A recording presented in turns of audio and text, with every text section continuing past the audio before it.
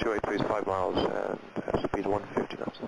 Channel 283, hello, continue. Number 1. The wind is 210 at 11, start lining up. What's going on guys? Welcome back to Irish Airlines. Today I'm doing a tribute flight for Thomas Cook, who unfortunately has gone into liquidation. Uh, we're going from Gran Canaria up to London Gatwick, as they actually don't fly into Heathrow. But um, yeah, sad times for the aviation industry. Thanks for watching.